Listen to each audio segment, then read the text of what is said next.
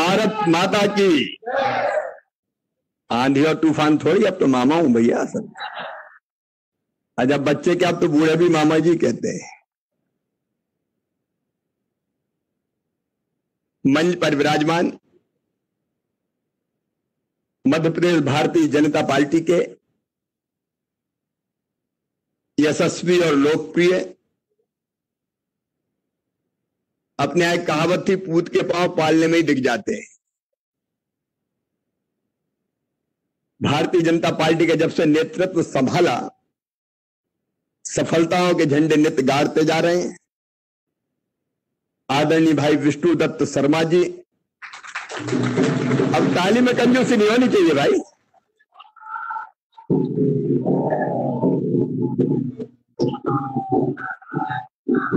हमारे साथ इस कार्यक्रम में दिल्ली से जुड़े मध्य प्रदेश के गौरव भारतीय जनता पार्टी की मोदी जी की सरकार में, मोदी जी के नेतृत्व में, कृषि पंचायत और ग्रामीण विकास का जिम्मा जिनके ऊपर है अच्छा पैसे सब- सबसे ज़्यादा इसी विभाग में है? और जब कोई पंडित जी प्रसाद बांटते थे पहले, आजकल तो कम हो गया है तो बांटते बांटते अगर घर का कोई बच्चा आ जाता तो थोड़ा थोड़ा देते थे, घर का जाए तो मुट्ठी खोल देते थे, ले जाए मध्य प्रदेश के मामले में नरेंद्र सिंह जी का भी सोचिए, यह घर का परसैया और अंधियारी रात। भरपूर देते हैं विभाग की तरफ़ से, आदरणीय नरेंद्र सिंह तोमर जी। हमारे वरिष्ठ नेता, राष्ट्रीय उपाध्यक्ष, जो अपनी अलग शैली में काम करते हैं। आदरणीय श्रीमान प्रभात झा जी। अभी जिनको हम सुन रहे थे,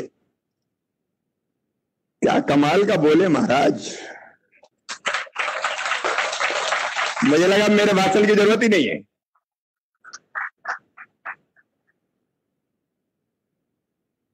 जो सही भावना और विचार थे, वो लगातार उनके हृदय से अभिव्यक्त हो रहे थे। और एक ऐसी परंपरा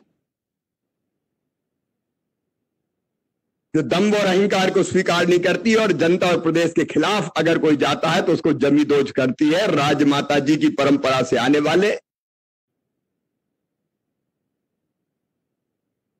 अच्छा वो ग्वालियर चंबल में भी वोट उनको देख के थोड़ी दिए थे। दिए इधर और बन गए वो। राज्यसभा के सदस्य, हमारे लोकप्रिय नेता आदरणीय श्रीमान ज्योतिरादित्य सिंधिया जी, ताली में यहाँ भी कंजूसी नहीं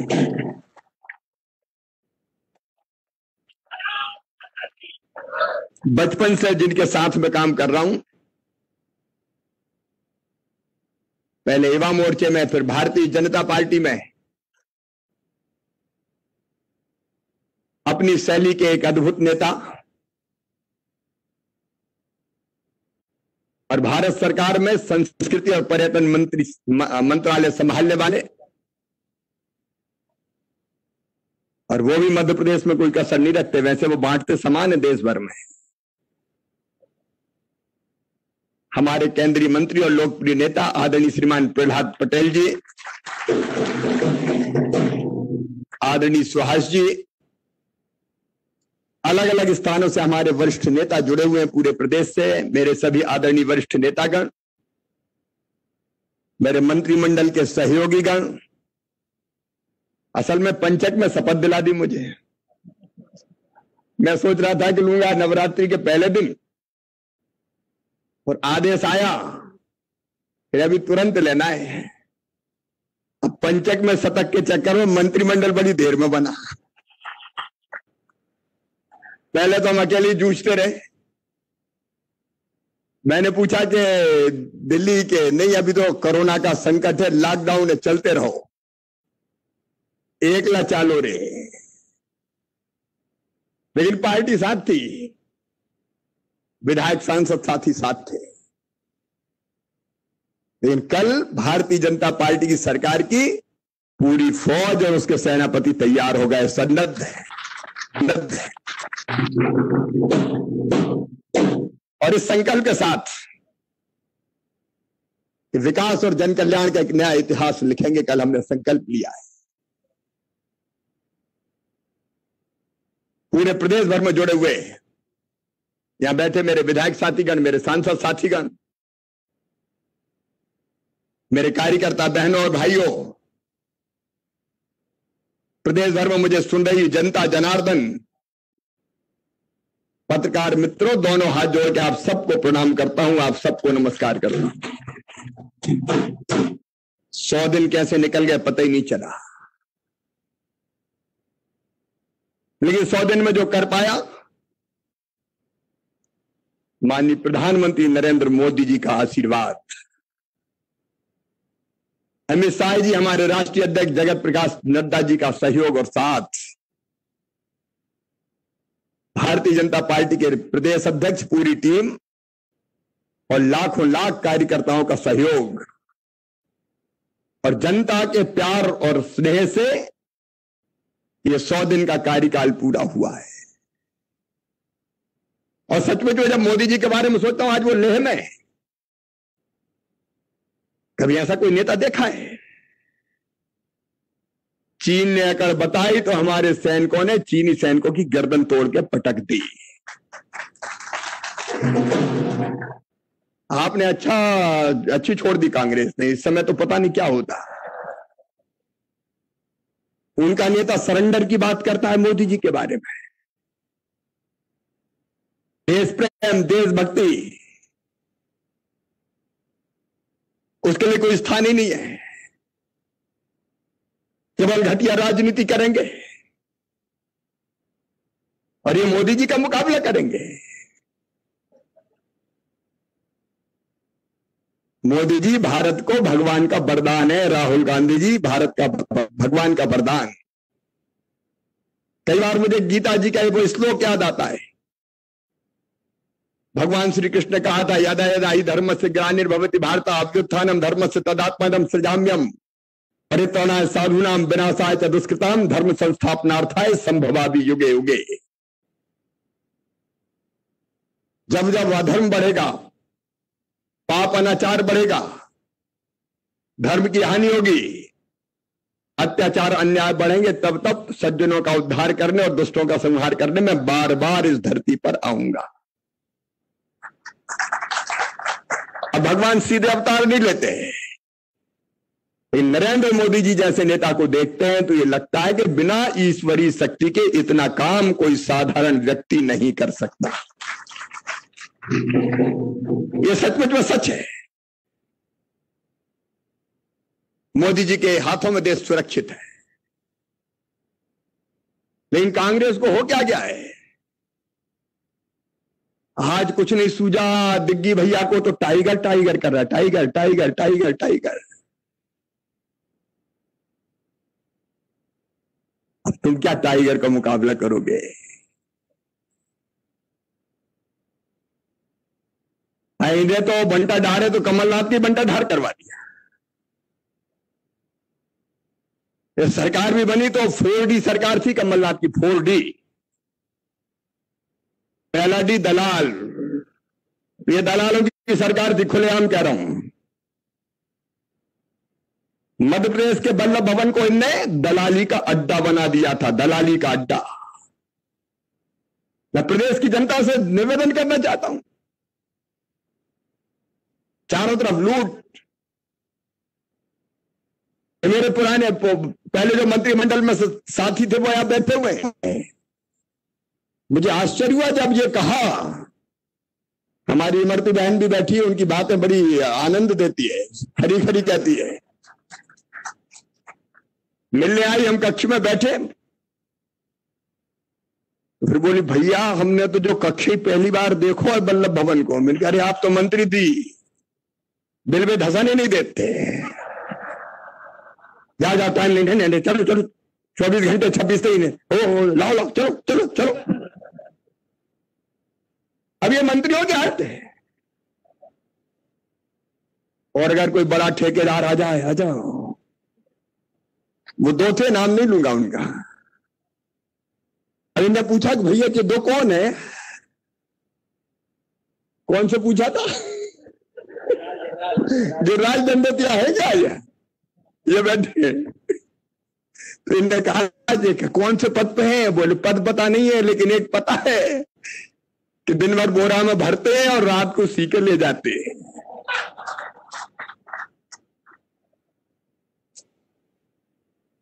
ये दलाली करने वाली सरकार थी।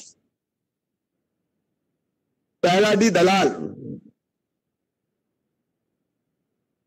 दूसरा डी दम अहंकार। और अहंकार दोनों में था, एक नहीं था। पाँव ज़मीन पे नहीं चलते थे। एक बल्लभ भवन में बैठता था और दूसरे मैं नहीं कह रहा उमंग सिंगार कहते थे, रेत। शराब। उनका जिम्मा ले रखा था। और ऐसा समझ रहे थे जैसे ऐसी सरकार आई जो कभी जाएगी नहीं। दम्ब और अहंकार में चोर। और एक से बढ़ के एक थे दोनों। बड़े मियाँ तो बड़े मियाँ, छोटे मियाँ सुबहान अल्लाह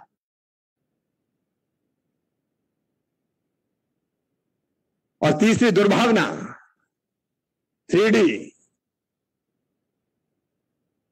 कुचल देंगे, मसल देंगे, तोड़ देंगे, मिटा देंगे, निपट लेंगे। कितने भारतीय जनता पार्टी के कार्यकर्ताओं के घर तोड़े तुमने? कितने लोगों को तुमने एनएसए में जेल भेजा? कितने लोगों को लोगों के काम धंधे तुमने तबाह किए? लेकिन समझ लेना दिग्विजय कमलनाथ, ये भारतीय जनता पार्टी के कार्यकर्ता है, जब तक सहते हैं, सह लेते हैं, लेकिन जब अपनी पे आ जाते हैं तो बड़े बड़ों को उखाड़ के फेंक देते हैं। आखिर सहने की भी कोई सीमा होती है। अब हम तो ओवल ही रहे थे लेकिन इधर बढ़ गए। कहा कि कहा कि इनकी सुनो, किसानों की सुनो, कर्जा माफ़ करो, वो नहीं सुनते, जाओ। क्या कर लोगे? बोले, हम सड़क पे आएँगे। तो ला जाओ सड़क पे तो परमानेंट सड़क पे ही ला दिए अब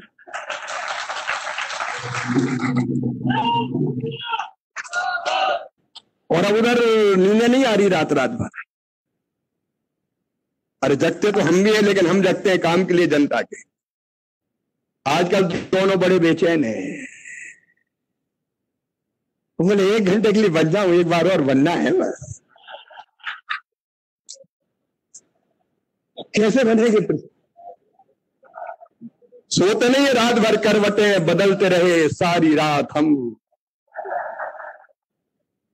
कुर्सी तेरी कसम, वल्लभ भवन।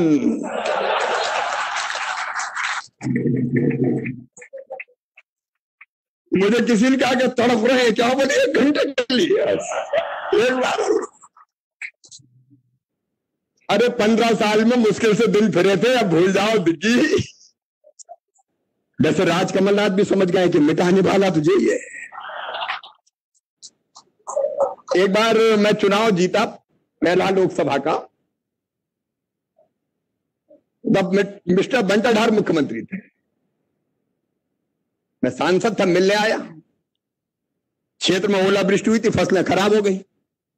हम गट्ठा बट्ठा लेके पूरा पूरा लेके अपन तो गाँव गाँव घूमने वाले। तो मैंने स्लिप भेजी मुझे, बुला लिया। एक नेता उनका नाम नहीं लूँगा, वो मुझसे पहले बैठे थे, मुझसे हारे हुए थे। तो मैंने उनसे कहा कि वो बैठे उनको तो बुला लो। बोले, नहीं, बैठो। चाय पियो। मैंने कहा, मुख्यमंत्री बड़े मेहरबान है, चाय। फिर उठने की कोशिश की, बोल, नहीं नहीं, अभी और बैठो। मैंने कहा कि बाहर वो आपकी पार्टी के बड़े नेता बैठे हैं, बोले, उसी को तो जलाना है।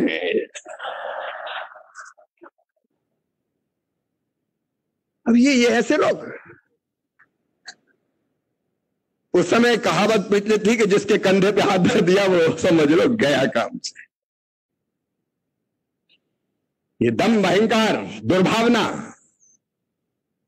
और चौथे डी तो खुद दिग्विजय ही। जा जा पाओ पड़े संतन के तहता पूरे प्रदेश को तबाह पर देखो हम मूड में नहीं थे, सही बताए। हम तो सोच रहे थे, बन गई तो बनने तो चल ले तो।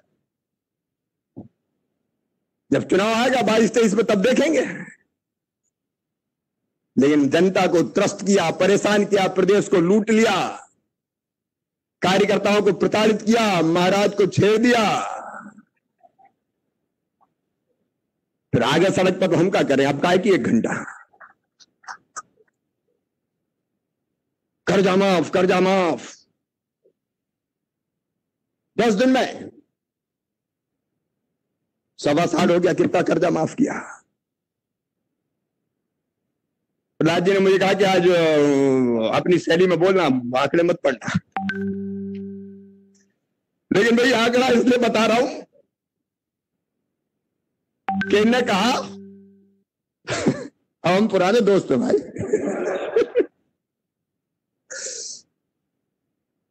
कर्जा माफ़ पचास लाख करोड़। कर्जा माफ़ का जो आंकड़ा था, इनका पचास हज़ार करोड़। घटाते घटाते, मिटाते, ये बैरियर, वो बैरियर वो बैरियर। और कुल मैंने हिसाब देखे कुल छह हज़ार करोड़ रुपए की कर्जा माफ़ी हुई है। कुल छह हज़ार करोड़।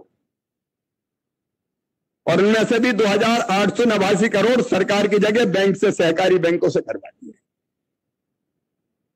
बैंक बदतर हालत में पहुँच गया उनको पैसा नहीं दे रहे।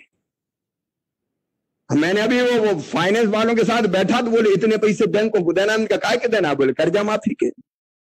अरे उनका दिए नहीं बोले उन्होंने सर्टिफिकेट बांट दिए पैसा नहीं दिए। क्यों ये हमारे लिए छोड़ है क्या? कर्जा माफ़ी के नाम पर मज़ाक किया तुमने? और मध्य प्रदेश के किसानों से मैं कहना चाहता हूँ आज, इन्हें कुल मिला के छह हज़ार करोड़ का कर्जा माफ़ किया।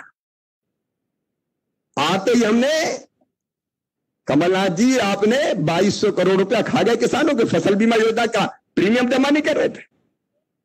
यह बात सही था कि आर्थिक संकट था कोरोना के कारण। नहीं, जैसे मुझे पता चला 2200 करोड़ रुपया निकाले, प्रीमियम के जमा किया और तीन हज़ार करोड़ रुपया सीधे किसानों के खाते में डाल दिए।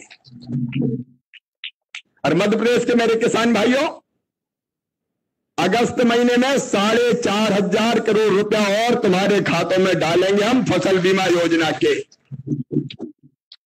उसका भी हम प्रीमियम जमा करने वाले हैं।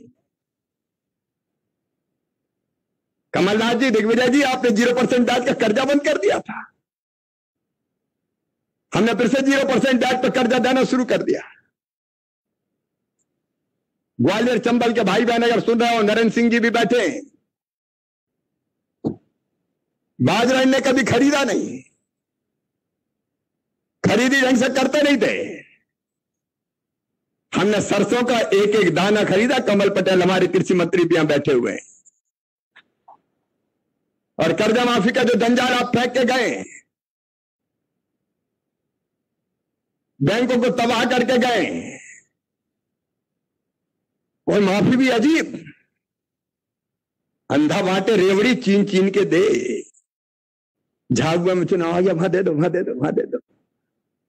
बाकी रहने दो, क्या कहते थे ये ये अपराध है। कई जगह दिए नहीं, कई जगह कई जगह जहाँ चुनाव ना मतलब तब दे दो दे दो दे दो या दे दो। क्या प्रदेश का मुख्यमंत्री ऐसा करता है? एक समान व्यवहार करना चाहिए पूरे प्रदेश की जनता से।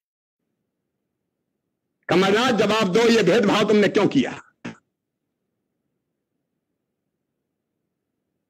मतलब था वहाँ दे दिए, बाकी छोड़ दिए।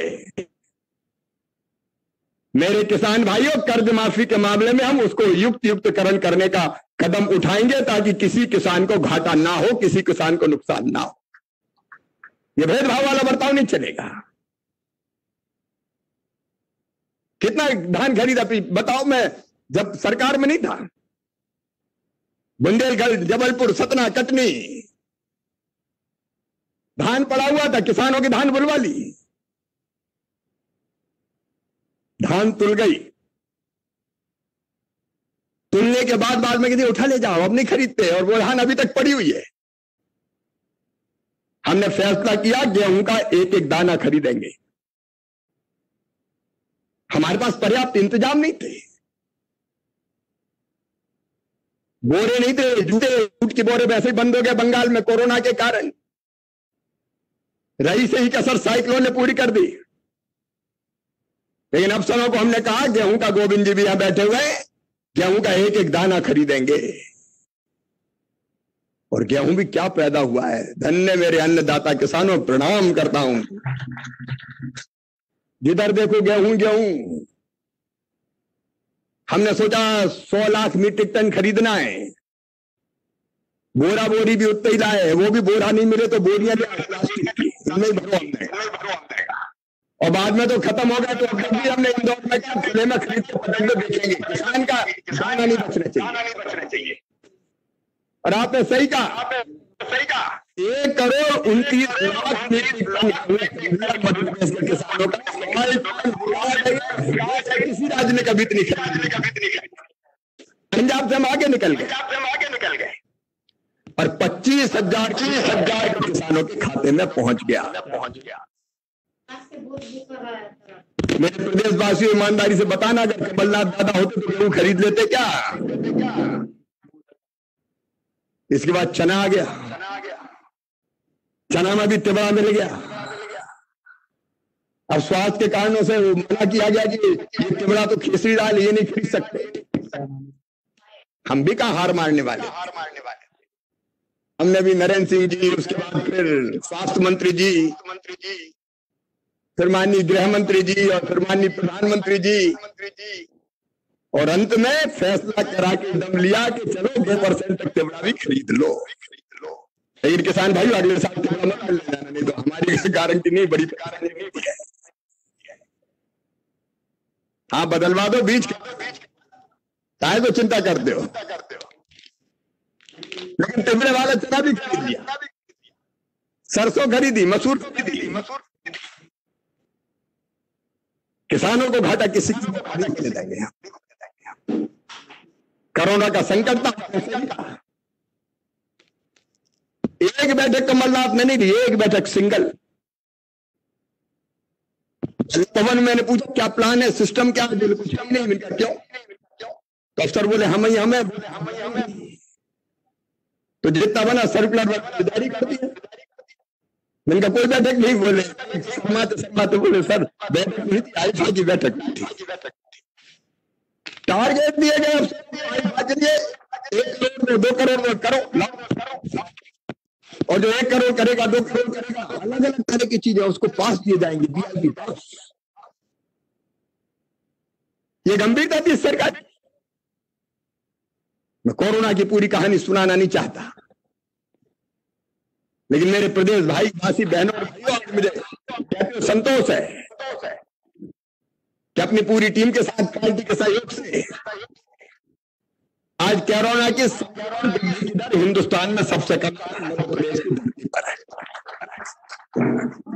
संकट अभी टला प्रधानमंत्री जी बार बार सावधानी ज़रूरी है अभियान चल रहा है हमारा।